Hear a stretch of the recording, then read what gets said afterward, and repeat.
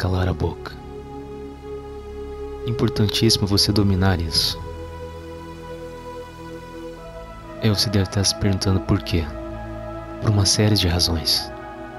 Se você dominar o uso desse verbo e fizer dele um hábito da sua vida, porque tudo você pode transformar em hábito, você terá um mundo a seus pés.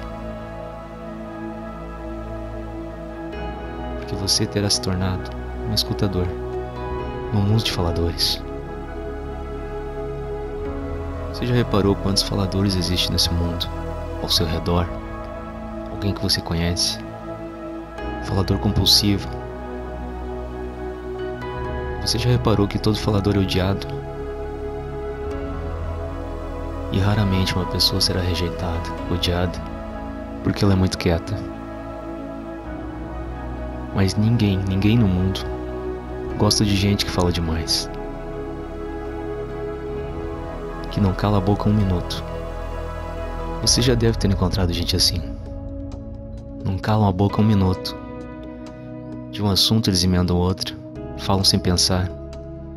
E quase sempre sobre assuntos idiotas e sem serventia. Se intrometem na vida dos outros, dão palpites que não são pedidos a eles.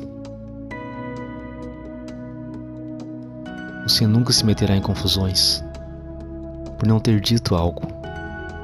Você nunca terá que desfazer o mal-entendido que você não criou com suas palavras. E nunca vai criar inimigos, inimigos verdadeiros por ofensas que você não falou. Mas em que situações eu devo calar a boca? Cale a boca quando você estiver irritado.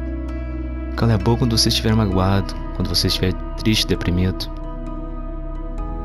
Cale a boca quando você estiver com vontade de xingar alguém ou dar uma resposta ríspida a alguém. Cale a boca quando você tiver vontade de criticar alguém. Cale a boca quando não pedirem sua opinião. Quando você não domina um assunto, cale a boca. Quando você não tiver certeza daquilo que vai dizer.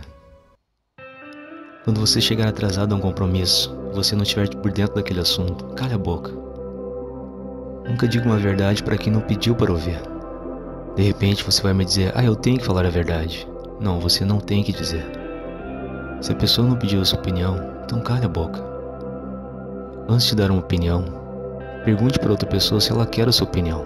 Faça esse teste. Eu garanto a você que você começar a partir de hoje se você começar a perguntar às pessoas se elas querem a sua opinião, de cada 10 pessoas, 8 vão dizer que não. Então fique quieto. Cale a boca. Se ela não quer a sua opinião, não fale nada. Respeitar a opinião dos outros é a sua obrigação. Você não está fazendo um favor quando você respeita a opinião dos outros. Então faça isso e veja como sua vida vai melhorar. Analise essa forma de pensar. Analise você mesmo. Reveja os seus atos, hábitos e comportamentos. E muito se for preciso. Na vida, primeiro você escolhe, depois você colhe. Então é isso. Um abraço.